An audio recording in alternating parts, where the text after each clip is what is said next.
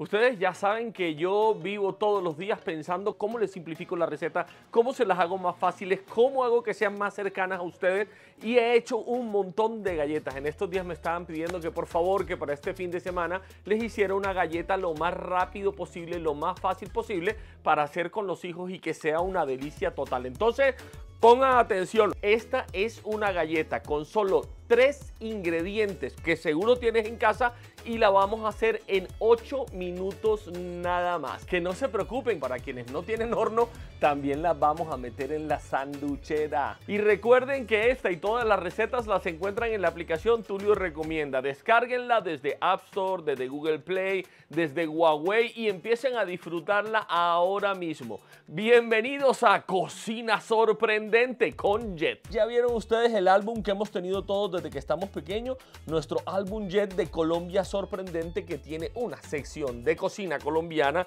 cosa loca. Y voy a coger mi caramelo, mi monita, miren, no sé cómo le digan ustedes a esto, mi lámina, y voy a ponerla aquí porque vamos a trabajar el día de hoy también con chocolate colombiano. Miren, cocina sorprendente y ahí está mi monita número 91. Y así de facilito vamos a arrancar cuando les dije tres ingredientes, son tres ingredientes nada más. Y miren lo que vamos a usar. Primero que todo, un huevo. Así de fácil. Un huevito, vamos a poner todo en un bowl. Aquí tenemos unos 130 gramos de harina. Listo, harina de trigo. Entonces, miren, es una taza aproximadamente. Así que voy a ponerla allí. ¿Y qué voy a utilizar? Voy a utilizar una de estas de mi Jet Crema justamente para no complicarme la vida y además para darle un saborcito muy, muy especial. Que esta galleta les va a parecer como un brownicito y ustedes pueden dejarla más cocida, menos cocida, más gruesita, menos gruesita. Ya verán la facilidad. Miren, la he sacado del pote, del pote como dirían en mi tierra y es exactamente la cantidad que vamos a utilizar son 3 cuartos de taza. Si están viendo un poquito más arriba de media taza, eso es lo que vamos a poner allí. Que si lo hacen directamente desde el pote, se van a encontrar que es más o menos la mitad de todo el frasco. ¿Listo?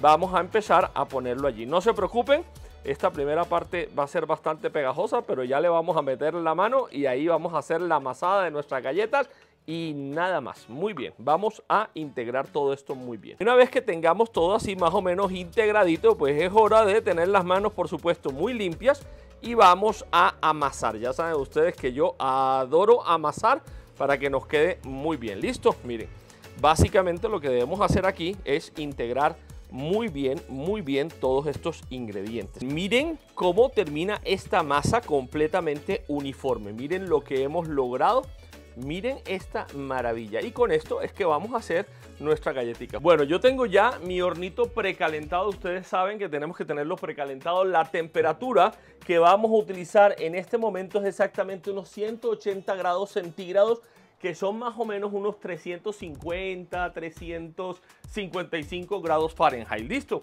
precalentado con toda y la lata del horno que vamos a utilizar. Miren qué voy a hacer.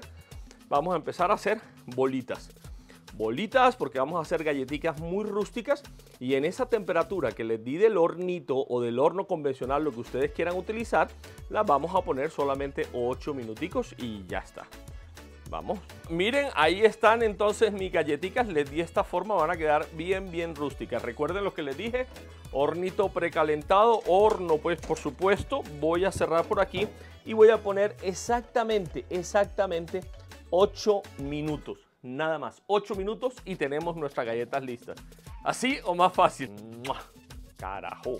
¿Y por qué no? Para quienes no tienen horno, vamos a hacerlas entonces en la sanduchera. Así que he hecho unas bolitas, por supuesto van a quedar con rayas o también puede ser en la guaflera. Recuerden por favor que esté muy muy bien aceitada para que no se les vaya a pegar demasiado. Y voy a poner dos bolitas ahí en sanduchera. Vamos a ver qué pasa, vamos a ver qué pasa. Muy bien. 8 minutos exactos y ya pitó, timbró mi hornito. Muy bien. Ustedes van mirando, si bien que de repente hace falta un poquito más, pues le ponen un poquito más porque en todas partes, pues obviamente esas temperaturas y esos tiempos van cambiando. Miren cómo nos han quedado nuestras galletitas de bonitas. Ahora solamente vamos a dejarlas que reposen un poquito más. Una particularidad que sé que muchas personas me van a preguntar. Yo esta receta cuando la hago para mis hijos la he hecho con harina que ya tiene normalmente el polvo de hornear. Quedan muy bonitas, se crecen un poquito más. Esta las hice con harina normal, sin el polvo de hornear y veo que han quedado también realmente muy, muy bonitas. Hay que dejar que se enfríen, por supuesto, porque en este momento si ustedes las tocan todavía están un poquitín blanditas. Hay que dejar que agarren un poquito su textura. Y vamos a ver qué pasó por aquí. Vamos, miren eso, por amor de Dios. Una galleta bien peculiares. Vamos a, vamos a ver si la puedo, si la puedo tocar. Miren, miren qué bonitas han quedado y quedó galleta, galleta, de verdad, verdad, funciona. Por supuesto, muchísimo mejor. Esto habrán sido por ahí unos cuatro minutos aproximadamente cuando yo apagué ya la sanduchera. Obviamente, si tiene forma de sándwich, pues tendrán forma de sándwich, pero tienen la posibilidad de ustedes de hacer unas galletitas deformaditas, pero galletitas. Muy bien, vamos a organizarlo. Voy a poner por aquí en unos papelitos de esto. Ya ustedes pueden ponerle por encima la decoración que ustedes quieran. Miren cómo se ve de bonitas presentadas de esta manera muy divertidas, como les dije ahora, para hacerlas con los hijos y les quedan realmente espectacular. Yo les voy a confesar algo, aquí en mi casa hay un problema muy interesante y es que mi esposa las desaparece todas, no hay niño, no hay niño, pero hay antojosa. Miren esta maravilla. ¿Ah? No, no, no, que a ustedes esto les va a encantar. Dios, después de que las preparen, sé que voy a salir por las calles y me van a aplaudir y me van a tirar flores. ¡Bravo por esa galleta! Se van a morir de la dicha, no se alcanzan a imaginar, van a entender por qué mi esposa las desaparece todas. Miren esta maravilla. Me encanta porque es de estas galletas que es absolutamente suavecita, olorosa y tiene un sabor muy equilibrado, que eso es muy importante. ¿ah? No es tan dulce y tenemos nuestra galletita de chocolate o nuestra galletita de cremallette perfecta. Ahora sí, chucutum para adentro.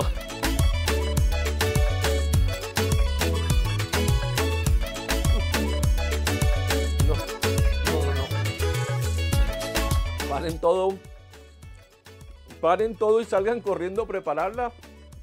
Esto no lo van a poder creer. Esto sabe a galleta de la chocolatinita Jet que nos hemos comido toda la vida, por amor de Dios, qué cosa tan espectacular.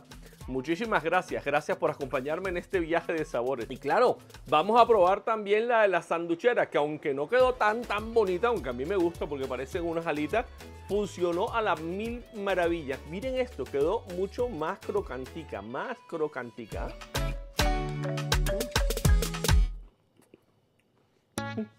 Galleta, galleta.